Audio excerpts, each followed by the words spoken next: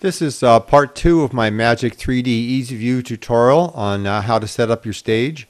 So we've got the stage set up. Next thing we're going to want to do is add some objects like a truss up on the ceiling there that I can um, hang some lights from and maybe an object down on the stage like a, uh, a chair or a person, something like that.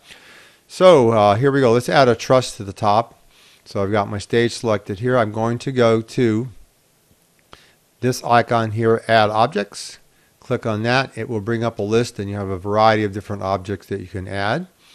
Um, you can have some fun just kind of playing around with, along with that if you'd like to.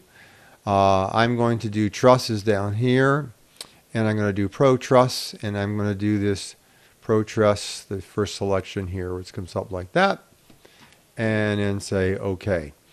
Now, anytime you add a new object to uh, Magic View, it comes up selected, which is red and at that point it's editable. So this is movable kind of places it right in the middle of your situation.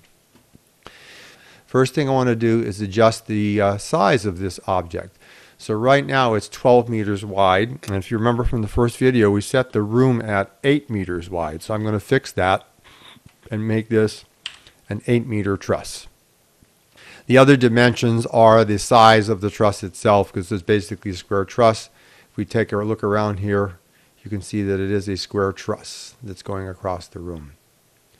Now, next thing we're going to want to do is actually place this where we want it. So now we're going to go back to location. Um, your X value is moving the object to the left or to the right. So we really don't need to move it there. We want to keep it centered on our stage. And you can see the three different axes here. The y-axis is going to be moving it up or down. So x is left and right, y is up and down. So if I start to move this up, you'll actually see that it actually, after two clicks I've gone up, it's actually protruding into the ceiling. If I start clicking down, I can kind of make it disappear into the floor. So I'm going to take it up next to the ceiling, but then I'm going to just bring it down a little bit so it just clears the ceiling. We'll do like 3.75. So now if I take a look at it, it's been raised up. It's up near the top of the ceiling. You can see that. Now the next thing I'm going to want to do is move it further forward on the stage. Um, so that's going to be, we're looking at the front again, that's going to be our Z axis. So Z is moving it front and back. X is left and right, Y is up and down, Z is front and back. So if I start clicking on this, it's going to move it toward the back of the stage till it would disappear through the back wall. Well, if I click the down arrow, it moves it up to the front so that at this point it's actually out in front of the stage. So I'm going to move it to about there. Let's just see how that placement looks. That looks pretty good. It's up toward the front of the stage. If I really want it all the way to the front, I can maybe take a look from the top view and scroll out a little bit here and just kind of bump it up here gradually to the front till it is all the way up to the right on the front edge of the stage there.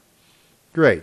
So now we have that right on the front edge of our stage. If we're looking around at it, we have our truss up there that we can mount our lights to. Okay. And then just let's say I want to add some objects. Again, just using my mouse wheel to scroll in and out here. Uh, let's say, let's just add a, uh, a chair to the stage or something to project some light onto. So again, we go back to our add objects here.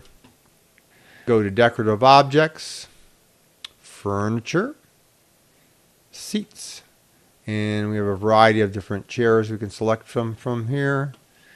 Uh, maybe I'll just do plain old stool like that and select OK. Again, what it shows it's in the middle eh, of the whole situation. So First of all, I'm going to bring it forward on the stage using my Z command here. Bring it up to the front, and then I need to drop it down, so my Y command. Now we can see there I went a little too far. I've actually stuck it through the bottom of the stage.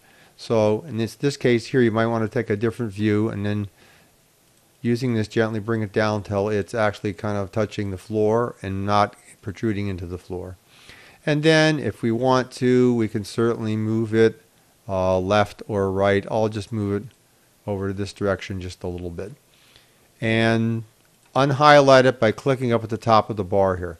So now if we take a look, we place the stool on the stage. By the way, we can color that stool. If I, I can either select it by clicking right on it, or again clicking on the truss or clicking here. Or you can select it also by doing here or doing that.